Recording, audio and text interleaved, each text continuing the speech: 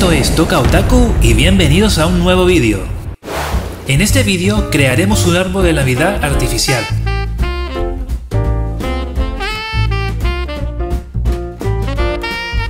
Primero que nada hay que crear la rama del árbol.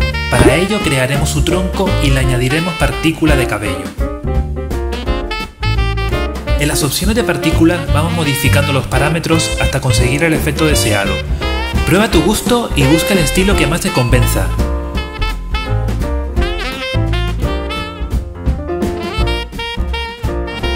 Ahora toca crear el tronco del árbol. Si aún no lo has visto, puedes ver nuestro último vídeo. Le volvemos a añadir un efecto de partículas de cabello y en las opciones de render seleccionamos la opción de Object.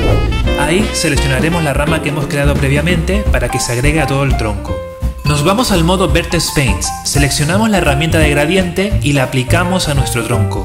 Esto hará que la cantidad de ramas vaya decreciendo a medida que el gradiente tiene menos incidencia, logrando así la forma cónica del árbol. Y no te cortes, comenta lo que quieras. También juega con las opciones de partículas, vete probando hasta conseguir la forma que más te guste.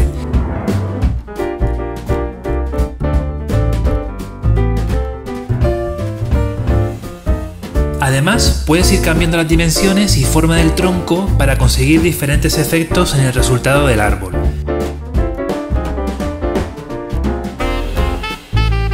Ah, no te olvides de darle la campanita para recibir notificaciones cuando subamos nuevo contenido.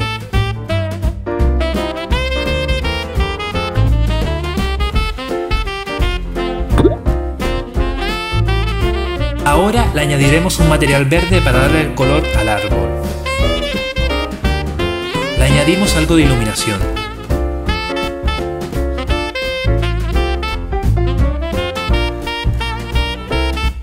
Vamos a agregarle una cinta. Lo haremos a partir de una curva en espiral, modificando sus dimensiones y agregándole grosor.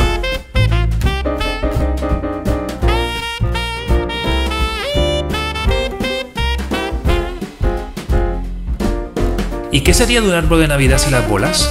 Pues crearemos varias bolas para ello. Le añadiremos un material brillante para que resalte.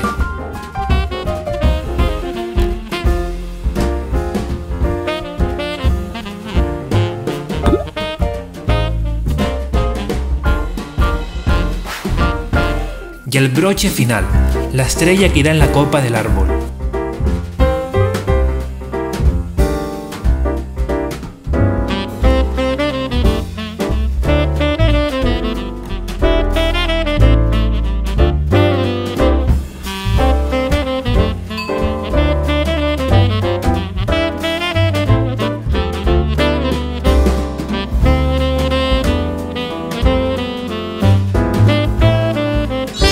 Es hora de ver el resultado final.